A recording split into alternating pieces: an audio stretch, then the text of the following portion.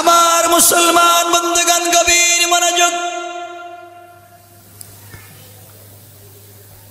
এই দুনিয়ার জমিনে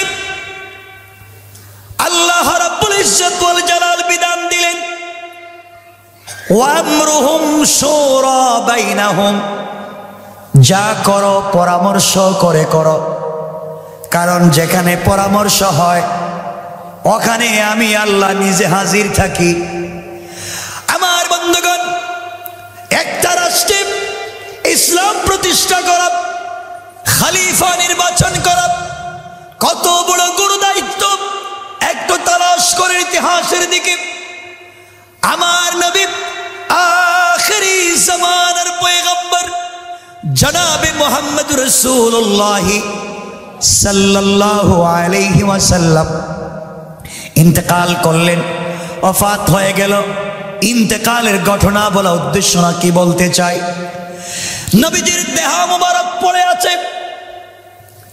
জানাজা হয় না। মদফুন করা হয় না।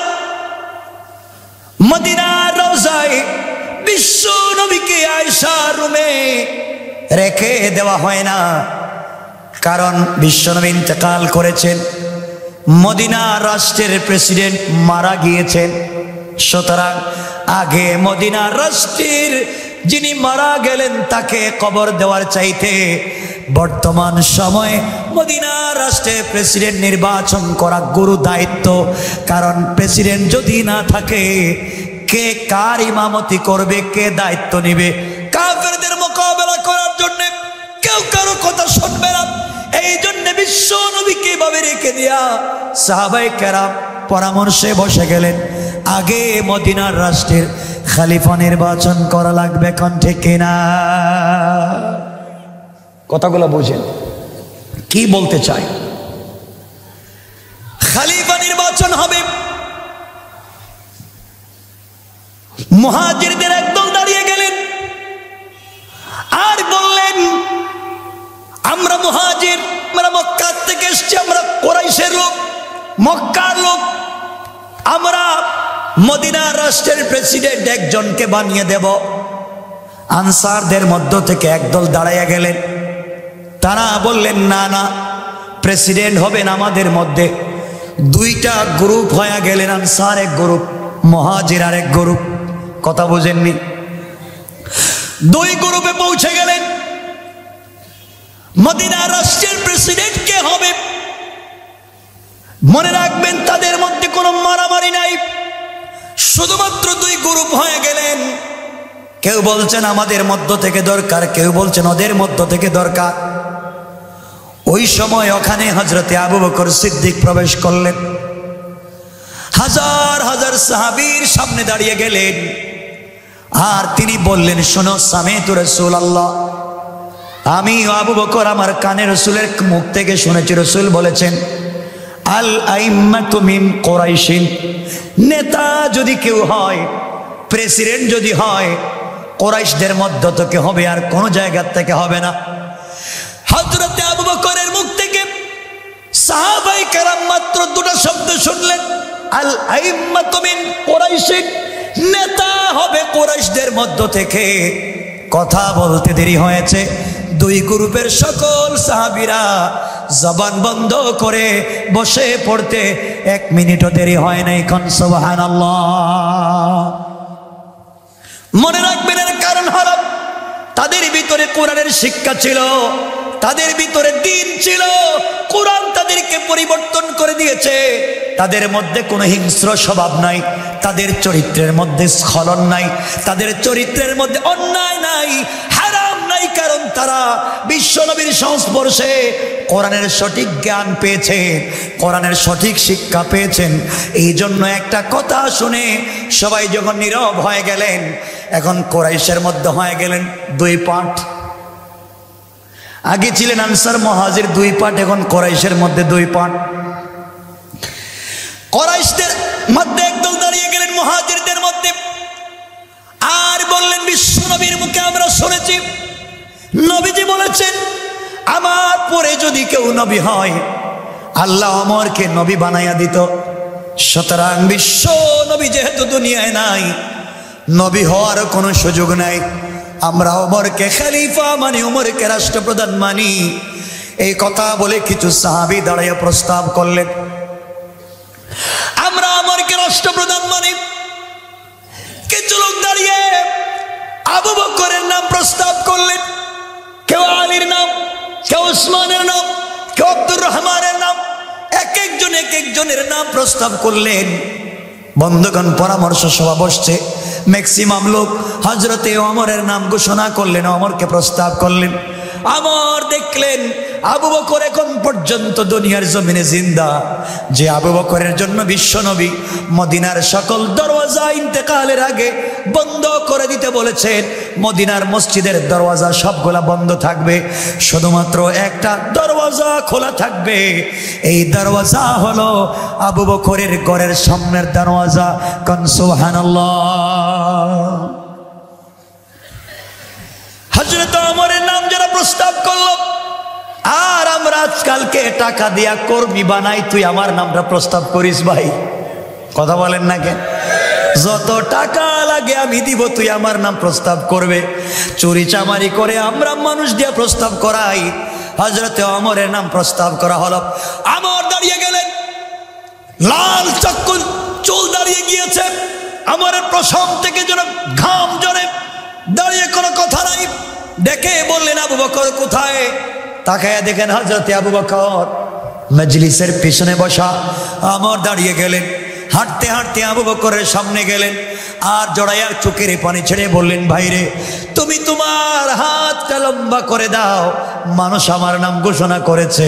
আর এই মুহূর্তে সর্বপ্রথম আমি অমর তোমার হাতে হাত রেখে তোমার হাতে বায়াত নিয়ে তোমাকে প্রেসিডেন্ট ঘোষণা করে দিলাম। কনসুবহান আল্লাহ আল্লাহ হজরতে আবু বকর খলিফা হয়ে গেলেন। দীর্ঘদিন পর্যন্ত রাষ্ট্র চালালেন। তিনি ওই ইন্তেকাল করলেন। সবাই মিলে হজরতে অমরকে খলিফা বানাইয়া দিল। পরামর্শের ভিত্তিতে চলতে আছে। আমার দীর্ঘদিন পর্যন্ত দশ বছরের উপরে রাষ্ট্র চালালেন। তিনিও ইন্তেকাল করলেন, শহীদ হয়ে গেলেন। সাহাবাই কেরাম পরামর্শ করে উসমানকে খলিফা বানালেন। ওসমানও ইন্তেকাল করলেন, শহীদ হয়ে গেলেন। সবাই মিলে পরামর্শ করে আলীকে খালিফা বানালো। কিছুদিন পরে আলী শহীদ হয়ে গেলেন। সবাই মিলে হজরতে মুয়াবিয়াকে খলিফা বানালো। তিনি খলিফা হয়ে গেলেন। দীর্ঘদিন পর্যন্ত চলল। কিন্তু ওনার ইন্তেকালের আগে গোটা মুসলিম বিশ্বে নানান অন্যায়, অনাচার, বিভিন্ন ফেরকা, বিভিন্ন দল, মত বের হতে লাগল। তিনি চিন্তা করলেন, শয়তানদের থেকে সমাজকে বাঁচাতে হলে আরেকটা, তাদের মতো একটা লোককে রাষ্ট্রপ্রধান বানানো দরকার। এই জন্যে তিনি নিজে পরামর্শ ছাড়া সাহাবায়কেরাম যে কন্ডিশনের ভিতরে রাষ্ট্র পরিচালনা করলেন, এর বিপরীতে নিজের ছেলে নাম কি? ইয়াজিদকে খালিফা বানালেন। যে ইয়াজিদকে খালিফা বানালেন, সেই মারামারি শুরু। কথা বলেন না কেন? ইয়াজিদ খালিফা।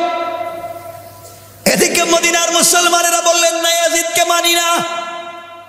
ইতিহাসে লেখে, ইয়াজিদ মত পানকারী ছিল। ইয়াজিদের চরিত্র ভালো ছিল না। সাহাবায় কেরাম মানতে গেলেন না। কিছু সাহাবায় কেরাম মানলেন। আর বেশিরভাগ সাহাবায় কেরাম যারা মদিনায় ছিলেন, তারা হজরতে হুসাইনকে খলিফা বানাইয়া দিলেন। হুসাইন খলিফা এক রাষ্ট্রে দুইজন হয়ে গেলেন। আমার বন্ধুগণ অনেকে পরামর্শ দিয়েছে হজরতে হোসাইনকে বলেছে কনফার্মাইজ করে স্যাক্রিফাইস করে মিলেমিশে চলেন, অসুবিধা নাই।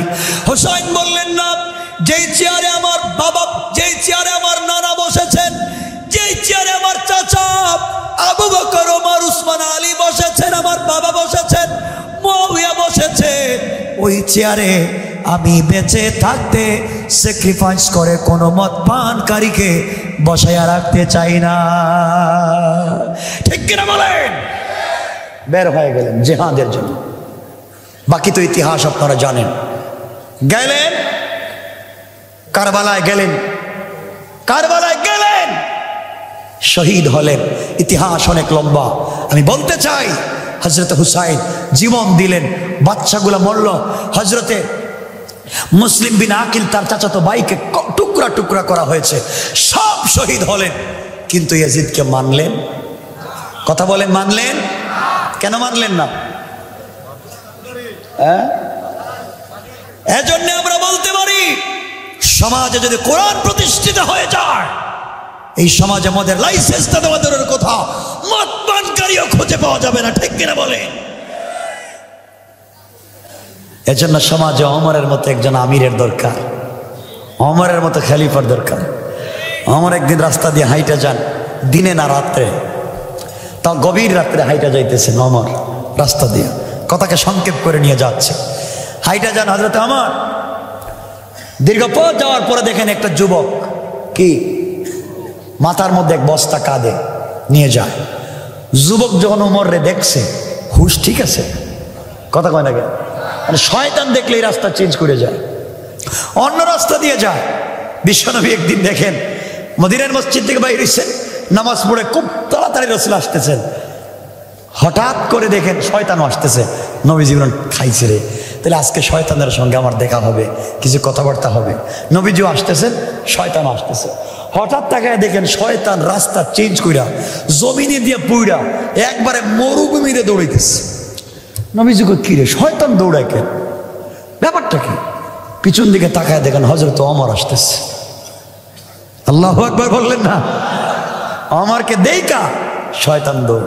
এই অমর গভীর রাত্রে যখন হাঁটতেছে যুবক দেখছে ওই খাইছে এখন যাই করে। যুবক এই মাত্র দুই বোতল মদ খাইছে। কয় বোতল? কথা কম নাকি? আরও দুই বোতল কাঁধে নিছে। বাড়িতে গিয়ে খাবে। রাস্তায় যখন অমররে দেখছে খাইছে। অমর যদি জানে মদ পান করি তাহলে তো মাথার থেকে, শরীর থেকে মাথা আলাদা করে দিবে। আমার বলে যুবক, দাঁড়াও। যুবক দাঁড়ায় গেছে। অমর সাধারণ মানুষ না, খালিফা? সবাই বলেন, হাঁটতেছেন একা একা সিকিউরিটি লাগে না গার্ড লাগে না, কারণ অমর সুর না। কথা বলেন না কেন?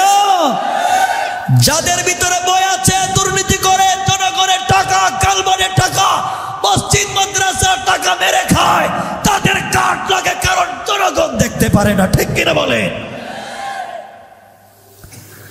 আমার বলছেন, যুবক, কই যাও? বোনের বাড়ি যাই। বোনের বাড়ি এত রাত্র কেন? আমার বোনের বড় অসুস্থ। জ্বর উঠছে। ও মাথা তুলতে পারে না।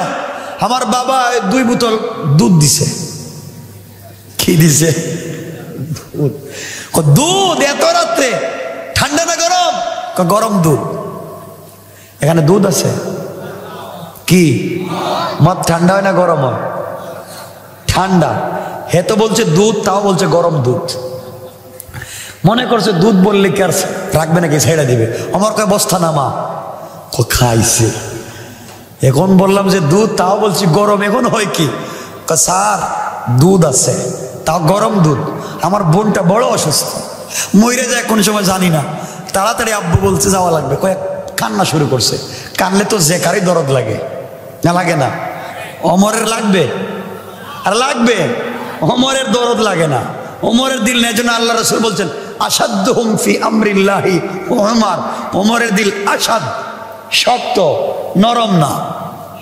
আমার বলছেন না মা বস্তা খোল। এখন চিন্তা করছে, বস্তা খুইলা রাইকা দিব এক দৌড়। মানে এভাবেই সে পজিশন নিচ্ছে যে বস্তার রাইখা দৌড় দিবে। আমার কয়েক হাত দিয়ে বস্তা খোল, আর তোরে আমি এক হাত দিয়ে ধরলাম। আল্লাহ একবার বললেন, না। যুবক তো আর শেষ, আজকে মরে গেলাম গা। বস্তা খোল, একটা বস্তা খুলতে কতক্ষণ লাগে? আস্তে আস্তে খুলতেছে খুলতেছে, খুলে না। মানে সময় টাইম পাস করতেছে। অমর যেন ছেড়ে দেয় অমর বলছে, তুই খুলতে পারবি না আমার কাছে দে। সাপ খুলতেছে, একটু বেজার লেগে গেছে। হঠাৎ করে যুবক দেখতেছে, বাঁচার পথ নাই, অমরকে দুধ দেখাতেই হবে। যুবক চোখের বাড়ি ছেড়ে দিয়া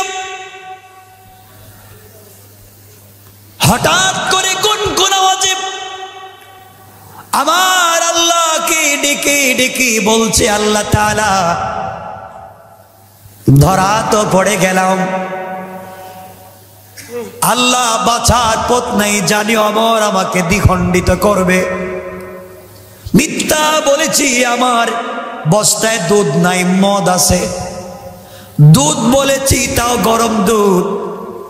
অমর যখন দেখবে, এখানে আছে মদ, আমাকে মেরে ফেলবে।